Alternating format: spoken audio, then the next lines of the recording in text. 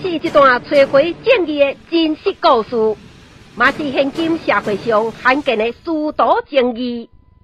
师徒是中华文化中保留落来优良传统。李师傅甲地主之间的情谊，就如同白镜这一般。今日太极门师徒以身试炼，发誓深奥，在遭受冤屈的苦难中，悠然勇敢捍卫正义，牵手同心，坚持真理，敬从中看见了向人之苦。师徒共同走过艰辛，并见证了真情，一部为正义奋斗的血泪史。正义，正义第五集。准讲是有这种正坚强的事实以及辩护的阵容啊，但因为媒体全面甲抹黑，司法审理诉讼过程又然是一条布满得刺的道路啊。第一位法官陈慧生，伊是一个理性有礼的人，认真地看资料，最近伊就发现。自救会问卷有真济拢是虚伪不实的，但法官要求自救会的律师爱伫三礼拜内重新甲整理资料，提出特别告诉的人因的姓名以及因的签名，但结果安头至尾拢无提出任何一份所讲的告诉人的名单。啊，地主呢也正欢喜讲法官愿意，和证据来讲话。哪知啊，法官煞真紧也被调走去啊！继任的第二任法官接案一年半，一庭都无开过。他结文书图，连法官生做圆阿扁拢无看过，伊就被调走去啊！第三任、第四任法官虽然拢有心伫要好好审理，但只干啊，开几庭都被调走了。到甲第五任法官是一个少年的赵子营法官，伊甲三国名将赵子龙，因的名真相像，嘛有同款有迄种规身是胆的个性。媒体连番上演这不实的戏出，难免嘛会互人先入为主。有感觉讲，他基本就是可恶的敛财宗教组织啦。好拄啊开始审理案件时阵，这位执恶如仇的赵法官态度嘛非常严峻的，无互太极门师徒什物好面色通去看。好运的是，迄时阵树林地院已经开始试讲交互质问，也知影讲交互质问对发现真实的这个。有帮助，而且调法官，伊决定以此诉讼心责来审理本案。你将真相呢一点一滴，都拢甲摊在阳光下啦，拢甲伊点出来。啊，拄开始即问了后，调法官伊会生气，一直甲检察官讲：啊，这个证人的证书袂当用，你搁去找证人补充证据。啊到到后来，什么自救会的白贼愈来愈离谱，亲像讲自救会会长白贼哦，讲什么曾经政务三千万，嘛叫法官当场改揭穿。自救会副会长伫开庭的时阵，嘛甲己承认，讲伊伪造自救会的门券的啦，伊甲家己的后生甲亲友改天做。讲是地主，伫要求上三百三十万啦。啊，阁有人被骗诈资金流程无符合了后，有那白贼讲啊，我这两百万吼，拖退出来啦。识破这离谱的这行为了后，赵法官对太极门师徒的态度咧，也较好些啦。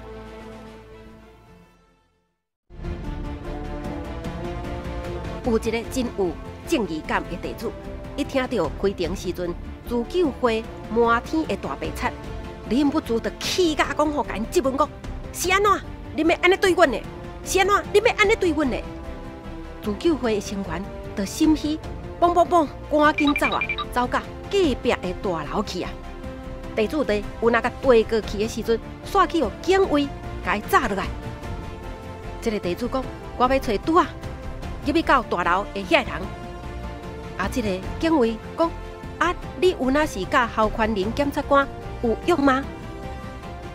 地主目睭一个看，高顶法院，原来迄栋大楼是已经升任高检署的侯宽林上班的高顶法院哦。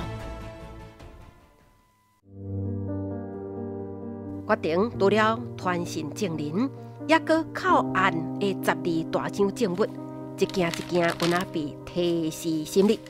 到底审理大概两百个证人证物，有那一一查验了后，这个事实有那渐渐渐渐一直明朗起来。一审历经了陈慧生、杨清怡、杨启光、陈武书以及赵祖英这五位法官。将伊伫二零零三年九月二十五号判决太极文无罪。这时阵距离案件发生已经将近七年，宣判无罪迄一刻，旁听的地主忍不住互相揽咧，伫咧大哭。这七年，互多少的太极文地主？心心难安呐！这七年又搁吞了偌济地主因的梦想甲青春呢？检察官阁继续上诉二审，这是调查认定事实的最终审。那二审合议庭是阁较有经验的法官，对第一审也无够周全的证据，更加。斟酌去调查啊，甲传讯。历经了洪晓玲、关友平、李文成、周正达、吴灿、段景荣、温耀元这七位法官，又过过了两年外的时间，总共开庭八摆。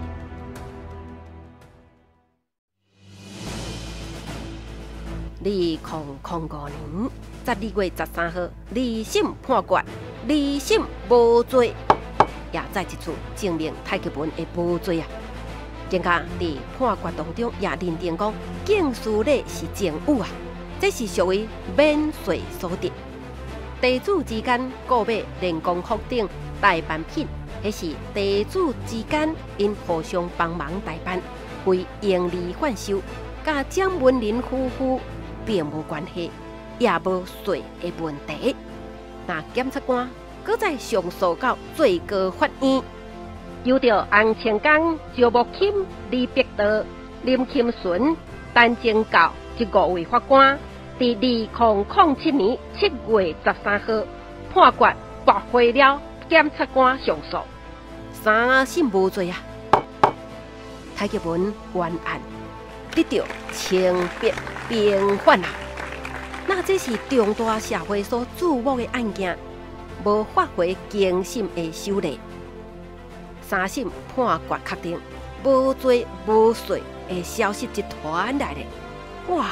太极文师徒啊，欢声雷动欢喜啊！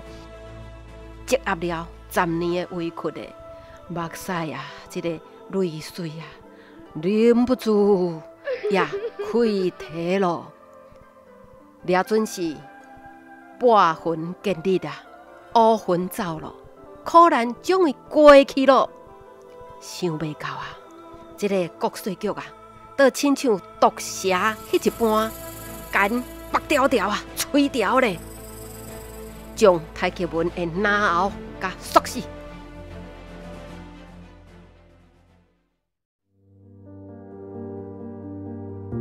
依照宪政体制。二零零二年监察院调查结果，详列了侯宽林八大违法，迄都已经确认侯宽林的犯刑。法务部都应该马上甲定处甲发，并无丝毫过期的问题啊！检察官办案代表国家，若牵涉到迫害，都无应该有追诉期的限制呢。譬如讲二二八事件的赔偿。江国庆冤案的听取，啊，甲背上等等啊。侯宽林接受监察院调查时阵，自己嘛已经都承认讲，啊，我确实无经过长官许可，就对太极文封管断水断电，只敢若听片面的讲法，就扣押了蒋文林翁某全部不动产，无查证受害者的名单是毋是属实，就老草起诉。二零零七年七月，三审判决确定太极文无罪了后，法务部高检署虽然讲天界时效已经过期，无法度停处侯宽林，可是啊，煞伫共迄一年十月以及过当年的三月，又搁四摆四摆去传信太极文师徒调查侯宽林违法的代志。若讲停届时效已经过期啊，啊哪有需要搁继续伫调查呢？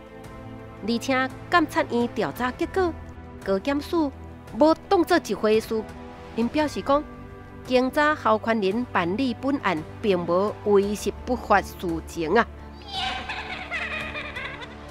法务部未依照监察院调查结果，直接停处侯宽林。颠倒阁叫高检署另行调查的举动，监察院纠正，因这是去强弄现行五权宪政体制，有重大威胁啊！依照现行的体制，法务部根本无管理另行调查吗？